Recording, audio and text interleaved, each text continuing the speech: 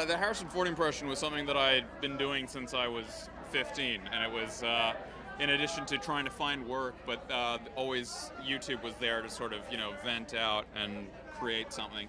Uh, and the amazing thing was that the director, Lee Toland Krieger, actually found me on my YouTube channel and uh, sent me an email asking, you know, if I could try out for this project. And it was just, well, not project, I mean, the film, it's just, uh, it's, it's just kind of insane to think about, but uh, really amazing. And uh, yeah, go, taking that leap from YouTube to big screen is intense, you know.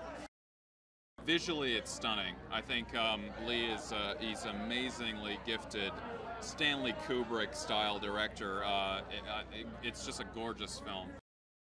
It's a romance story, but it's also it's also very there's a lot of heartbreak there as well. It's um, you know it, it, deals with the uh, realities, I guess, of, of becoming immortal, but always outgrowing those that you love and having to constantly change, uh, change your family is you know it, yeah it, it's it's bittersweet.